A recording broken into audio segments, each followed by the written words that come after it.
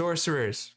We're going to tell you all about the best three sorcerer subclasses as 5th edition, I'm going to say it, comes to a close.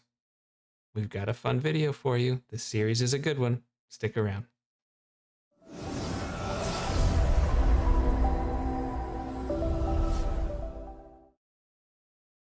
Welcome back to J&J Tabletop. I'm Josh. This is Jake. And as Jake just said, sorcerers. We're going to talk about them. This is a continuation of our top three subclasses uh, series.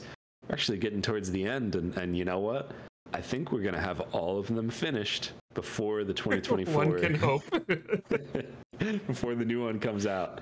Um, so I'm excited um, a little bit more about this. You know, a lot of the time we're going to discuss these videos or these ideas in our Discord. Uh, we will just be going back and forth with people in there about what's the best, and those are fun conversations. So if you want to be a part of that, links in the doobly doo in the link description.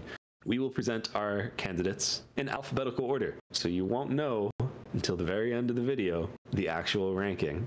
Um, and it's not like there are chapters that you could hop through if you needed to do that. And then we'll go through honorable mentions and actually give you our three, two, one best. How do we do that?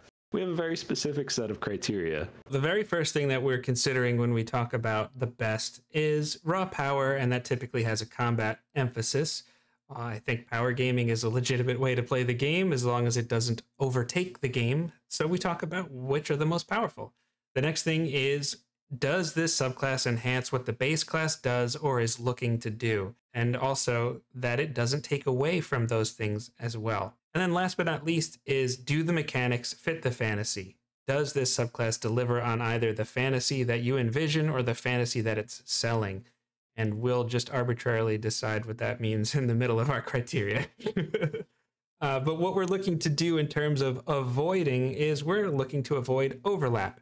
If one subclass does something similar to another, but doesn't do it quite as well, then that's not going to make the cut. We're just going to take the best one. We're also not going to consider role playing because we honestly and truly believe every class and subclass has fun elements to it in terms of RP. We may use it as a tiebreaker, but it really just is not a primary consideration. And then multiclassing is also not something that we're going to consider because multiclassing would defeat the purpose of discussing which subclasses uh, stack up next to each other, especially when you have capstones that maybe come online so late in the game. It's it just doesn't make any sense. So, Josh, for me, the three that we picked were very easy. The honorable mention that we picked was very easy. Putting them in the right order was very tricky for me. That's exactly what I was going to say. You know, deciding the best one actually took a shocking amount of time, um, but deciding which one to talk about first, that was easy because it starts with A, and that's Aberrant Mind. So the Aberrant Mind Sorcerer is like this, uh, I don't know, spooky kind of psionic thing that was given to us in Tasha's Cauldron of Everything. As far as raw power goes, you get another spell list, which is just a wonderful thing that really every subclass for every caster should have. So you get some psionic spells. Uh, you also get something that I think is really cool psionic sorcery. It just gives you a better conversion rate to use your uh, sorcery points, your meta magic points, in place of spell slots instead of like gaining spell slots back, you can use your meta magic to cast spells. More spell slots, more better. It's actually an extremely efficient way that you could use your sorcery points. I know the temptation would be naturally to want to do meta magic things to it. However, if you could just whip out Dissonant Whispers by throwing out one sorcery point, that's kind of awesome, especially if you run out of spell slots and Dissonant Whispers is kind of freaking awesome. I, I, really do think that one of the big holes in the sorcerer class is the amount of spells known. And this, I mean, it caps out at 15, and this adds, was it uh, 10 plus a cantrip to your natural kit, which is just, it's exactly what the sorcerer needs. And it's why we actually made a video about that in terms of enhancing what the sorcerer is looking to do or just basically what it does i think you could easily include psionic sorcery in that category but i really really love the capstone of warping implosion. This thing is incredible. It's a teleport. You know i love my teleporting but it pulls each creature within 30 feet of you towards the center deals damage to them. Now this is your action but what do sorcerers do with the action economy that's better than everybody else. They have quicken spell. They can cast a, a leveled spell. In this case, if you're just you're, you're clumping people up for a nice AOE, that's it. That's one of the most bread and butter things that a caster is looking to do, and this enhances that just beautifully. And it's only five sorcery points to do. You get one free use.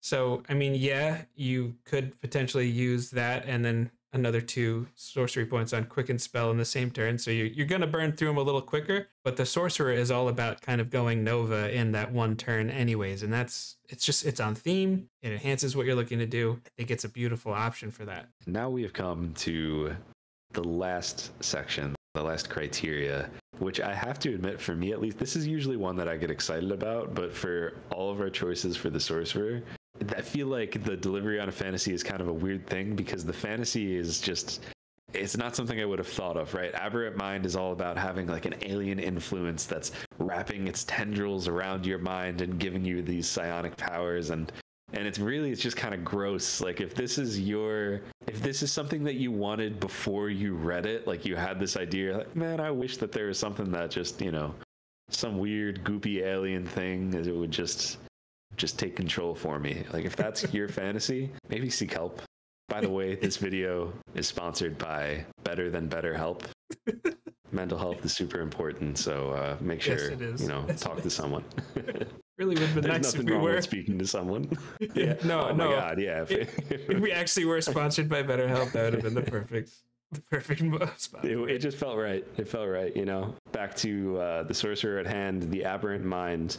There is one ability I think just kind of ties into its its delivery on on that fantasy, and that's revelation in flesh.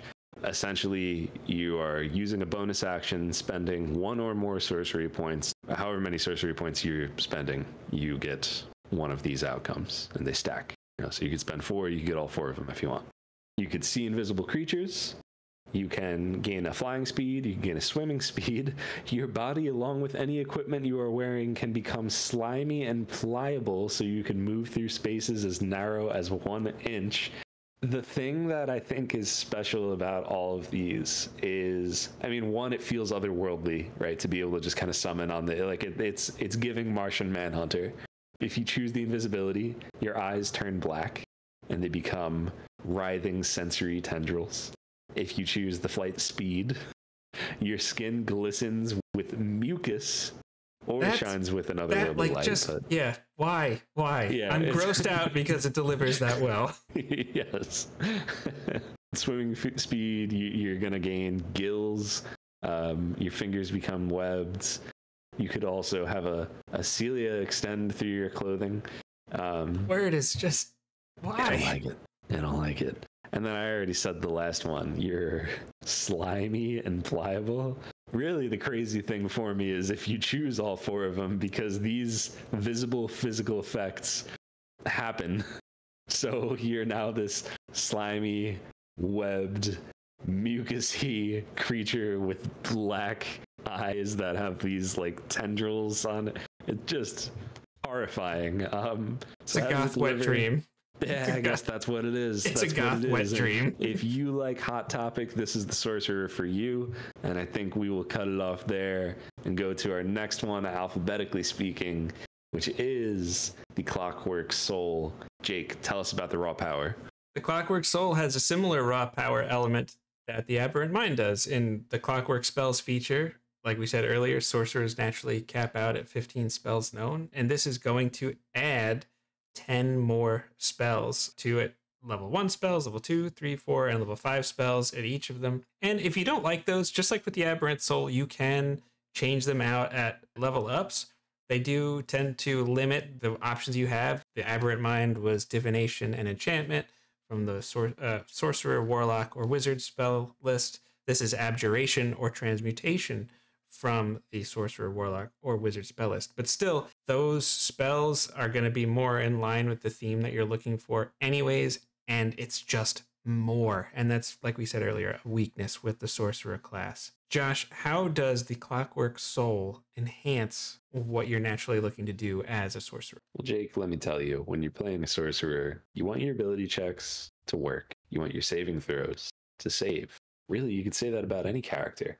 What Clockwork Soul has is Trance of Order, which is a 14th level feature that feels like a capstone. It's kind of incredible. Bonus action, you enter a state for one minute, and for their duration, attack rolls against you can't benefit from advantage. That's pretty big in and of itself. But then also, you're essentially getting reliable talent, but for your attack rolls and for your ability checks and for your saving throws. So for everything, you treat a roll that's a nine or less as a 10 for one minute. And you could only use it once for free, then it's five sorcery points. Obviously, there's a lot of things fighting for your sorcery points. But I mean, I can only think of two combats that we've had off the top of my head. And maybe there's more, but I could really only think of two combats that we had. Three. One was many years ago. Three combats that lasted longer than a minute or as long as a minute. So like eh, that's just that's really really significant and it comes online earlier than you would expect. I mean that that enhances everything. It just makes you more reliable. You're really never going to fail a concentration check unless you really get hit. Like yeah. you really have to get hit cuz just as a sorcerer you're naturally efficient with con, so you're going to have a pretty nice number to work with there. But in terms of delivering on the fantasy, the Clockwork Soul, I think of like the Borg Queen from Star Trek I bring order to chaos. That's what this is. So I look at a level one feature like restore balance. And the way that works is when a creature that you can see within 60 feet of you is about to roll a d20 with advantage or disadvantage, you can use a reaction to just nullify that and make it a straight roll. This is a feature that can be used a number of times equal to your proficiency bonus. Every long rest, I suspect that's going to change to like charisma bonus or something like that with the update. But this is good for offense. This is good for defense, depending on which creature you're pointing at and what they what they're doing, right? So if you know there's an enemy rogue about to get you because they have sneak attack, well, no, they don't. That's a massive thing. Or one of your allies is afraid and they're making an attack roll. Well, you still have a regular attack. This is this is exactly what you'd like to do with this fantasy. This is the the fantasy of law and order. And then the other option that I really like for delivering out a fantasy is the Clockwork Cavalcade. Uh, this is exactly the Mechanist clocks. I mean, it's it's all right there. You're going to summon spirits of order to expunge disorder around you. As an action, you can basically dole out 100 hit points of healing to people within a 30 foot cube. And it's not like, oh, I really hope I roll well. Oh, I, I know that you really need me to get like, you know, maximum healing on this. Uh, well, how much are you down? 52? Well, now you're not. And you're down 36? Well, now you're not. Like all of these things, it's just it is known, Khaleesi. This is this is how there's no wondering, there's no relying on dice. It just happens. The other thing that's interesting is every spell of sixth level or lower ends on creatures and objects of your choice in the cube. So not only is it healing, it's also a mass dispel magic. That is a very powerful feature that also delivers on the fantasy. I'm a big fan of the Clockwork Soul, and that's a big reason why. Yeah, you could easily throw that in in raw power too. That that is a that's strong very strong. But you mentioned one thing, and that was a healing factor that they had, which that brings us our next subclass, which is the Divine Soul. Divine Soul is one that I actually really, really like. I didn't think I would. If you've ever seen Ancient Relics and Hooky Religions, we have a Divine Soul sorcerer there, Melly, played by our friend Izzy. And when I heard that's what she was doing, I was like, really? That's what you're you're gonna go with? Holy cow! I've been shocked by how how good they are, and it makes sense, right? Because you have this sorcerer. The sorcerer is good for that burst damage. Just the base class itself, minus any subclass features. They're strong. They're really good. They have that meta magic that just makes them better at all of their casting. But now you're adding something that most spellcasters don't get uh, really only one other caster gets, and that's the entire cleric spell list. And that is freaking huge. You still have the raw power of the base sorcerer. You still have the control of the base sorcerer, but now you have that um, support feature of the cleric, which you can then combine with meta magic. And that's just like the world is your oyster. Do you want to twin heal, right? Heal is the sixth level spell, right? Boom. Now yep. you twinned it. Yep. That's it. You just did it. that's that's crazy. That's just crazy. Yeah, it it is it just opens up, as the Disney character Aladdin would say, a whole new world when you're talking about what the sorcerer kit can do. And when you're looking to enhance what the base class does or is looking to do, I first look at unearthly recovery. And that's the capstone feature. You gain the ability to overcome grievous injuries. As a bonus action, when you have fewer than half of your hit points remaining, you can regain a number of hit points equal to half your hit point maximum. You can't do any of the things that you want to do if you're down or if you're dead. This helps stop that. this this makes dead no. it's really nice. I, I just want to say that it, it's really nice that it's kind of like a feature that forces you to use it on yourself. Because I think a lot of healers are like, ah, maybe I shouldn't heal myself. I should heal someone else. But exactly what you just said. Can't heal me. You can't damage another creature if you're dead. So this feature is built to help you. The other feature that I would look at would be empowered healing. Now, the base class isn't necessarily a healer, but this class kind of in a way has an expanded base class because right away you have access to the cleric spell list. And maybe only the life cleric heals better than you. And I'm saying maybe in that. I, what do you think? Let us know in the comment section because you are able to re-roll the dice that you use when you heal by just spending a single sorcery point. It's more reliable, it's more better. And there's nothing worse than casting cure wounds and like I rolled a 1. like it's like that on hit points when you level up. So yeah, and and that brings us to uh brings to the delivery on a fantasy, right? I mean, I think just basically everything that we just said, talking about being a strong damage dealer and one of the best healers in the game, which is just crazy that a subclass makes you one of the best healers in the game. um, but it's true. All of that ties into the fantasy of it. It's giving you that, yeah, I am this godly, powerful caster. I am blessed and favored by the gods. And I think that kind of ties into the delivery on a fantasy, right? So, like, it says that divine power guards your destiny. If you fail a saving throw or miss an attack roll, you can roll 2d4 and you could add it to the total. Um, and you know, you can only use this when you finish or once, you know, per short or long rest. It's pretty, it's like your own little mini divine intervention, right? The I guess the other feature I think that that really ties into this too that that just shows that you're you're connected with the beyond is otherworldly wings. So at 14th level, uh, you can use a bonus action to manifest a pair of spectral wings. Thing that I like about this, I mean, one obviously flight. Flight is incredible, but the thing that I like about this is that it's tied to your alignment. Eagle wings for good or for law, bat wings for evil or chaos, and dragonfly wings for neutrality. I was a big fan of Fable growing up. I still am a pretty big fan of Fable. If you did good things in the game, you got a halo. If you did bad things in the game, you grew horns.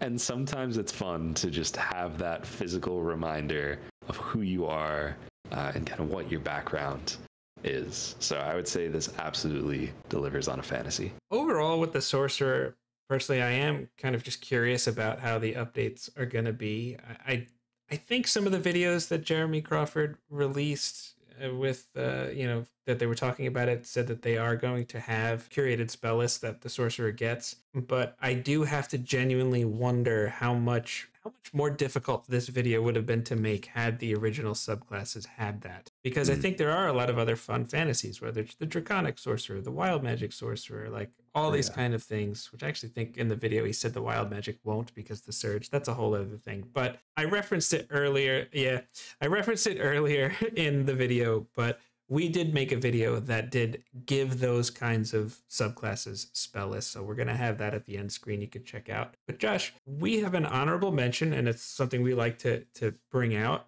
and it's something actually we made. So it's almost like a little little self shout out. Uh, two or 3 years ago, maybe uh, maybe 4 years ago. Time is an illusion. I have yeah. no idea.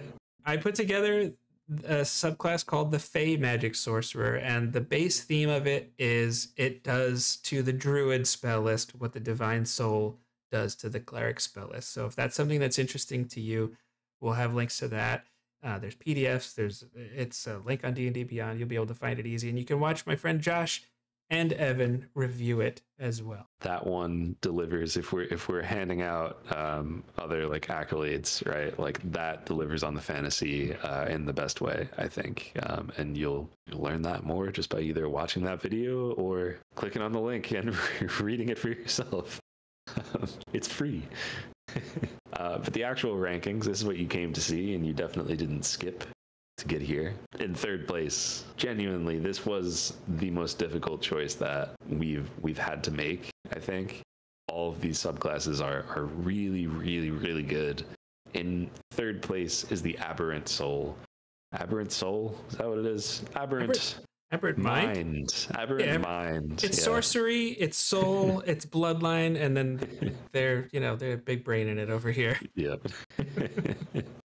Uh, but the Aberrant Mind, uh, it has some really cool stuff. I don't know. It's this is this was a tough decision. I, I just think Clockwork and Divine just just barely edge it out. Uh, what we put in second place was the Clockwork Soul. Just had more, just call it action economy friendly things. Everything it does is baked into things you typically do every single combat round. And it's not anything against the Aberrant Mind. We just think that the Clockwork Soul you're just going to be feeling that so often. And that's, you want mechanics that fit the fantasy. So that was the tiebreaker. I think that makes it pretty easy to find out what our number one was.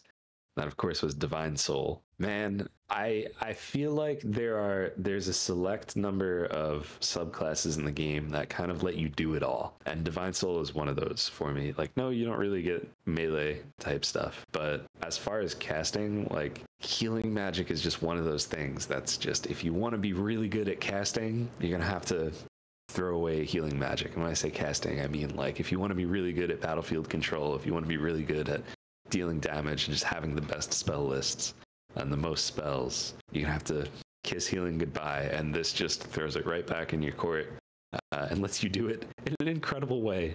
The way that opens up the game, it, it's it, you just can't deny it. We it really was. We were on the struggle bus with where to put Divine Soul. For us, it was either one or three, and I think the line of thinking that we ended up taking was Clockwork Soul and Aberrant Mind are the outliers in terms of the spells that it gets. Yes, that's why it's on the list. It's more powerful in that way. But the divine soul, it it just opens up more options to showcase the power of the sorcerer. So that's why we chose it there. But I don't think there's a wrong way you could put them. We'd love to hear if you agree with our rankings, if you put them in a different order, if you have different things in there entirely. Of course, this is a subjective video. But Josh, we're, we're getting there. Next up is Warlock and then of course Wizard. I think we could do it before the rules update in September, right? Yeah. I yeah. I sure hope so. I still don't know when the pre-order actually or, or the um, early access goes live. We'll definitely have it done before September. I want to have it done before the early access, but I can't do that without knowing when early access is.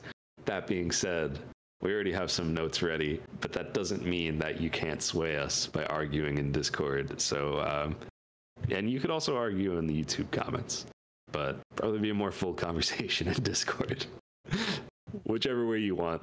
Let us know if you agree or disagree with these choices, and let's start talking about the Warlock. What are your top three? Let us know. We'll see you on the next one.